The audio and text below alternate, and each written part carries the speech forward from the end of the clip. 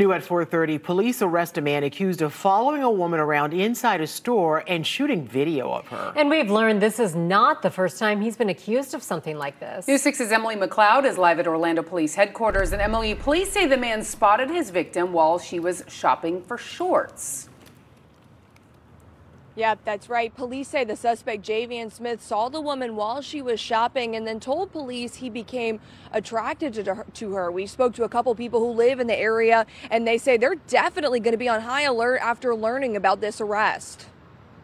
You just never know what's what people are doing, and you just got to be just more cautious. Casey Williams shops at the Walmart near Kirkman Road and Sterling Crest Drive, where Orlando police say this man, Javian Smith, was caught taking videos up a woman's skirt on Monday. She says she will be a little more cautious after learning about the recent arrest. You would think that by just going in certain places that you could be safe, especially, you know, it's a lot of people around. No one's going to do anything crazy, but that's the world that we live in now. And, you know, it's just, just got to be more mindful and cautious nowadays. That's all. Police say Smith was caught on surveillance video by a Walmart loss prevention officer. In the video, police say they saw Smith following the woman for about 20 minutes, taking multiple videos up her dress. So I say it's really disgusting. It's like, why would you do that anyway? And especially, we got children around, you have families and everything like that. That's not something that's appropriate, no matter where you are and what you're doing it for.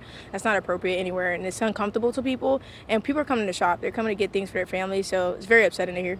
Smith was arrested in 2019 in Leon County for taking photos up a woman's skirt. Police say Smith was selling the photos to an adult website. No, that, that's that's wild. No, I'm not gonna lie. I don't know what else to say, but that's wild. Like that, I don't know. So it's really disgusting. That's really it.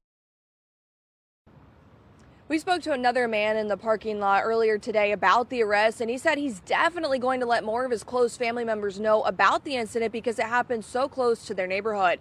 Now, we checked the Orange County Jail website to see if Smith is still in custody, and it appears as though he is bonded out. For now, reporting live in Orlando, I'm Emily McLeod, getting results News 6.